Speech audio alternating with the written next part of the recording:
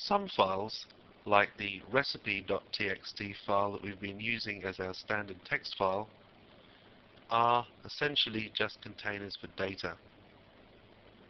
They can't act on their own. They have to have a program file act on them and manipulate them or extract their data or modify them.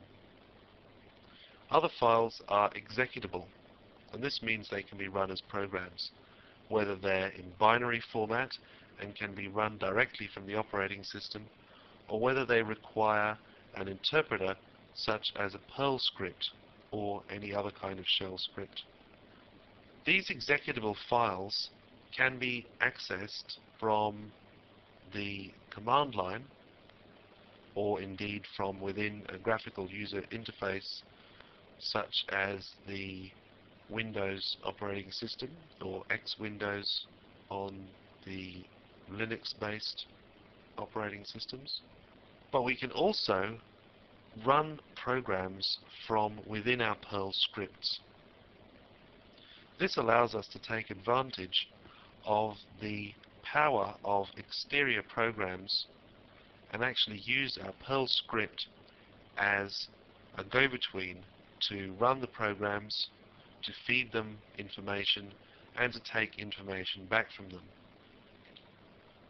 For instance, here is an example of calling a program using the system function, which is Perl's way of running an executable file from the file system.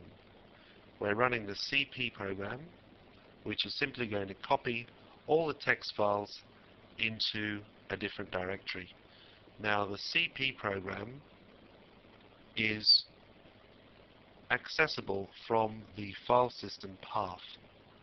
If it wasn't accessible from the path, we'd have to specify an absolute address for it unless it was in the same directory as our Perl script was running.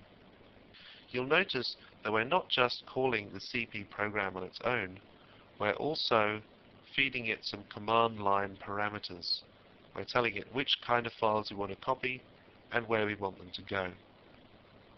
Perl doesn't interpret any of this. It simply tells the operating system, this is what I want you to do, and then the operating system will run the program and return the output from the program to Perl.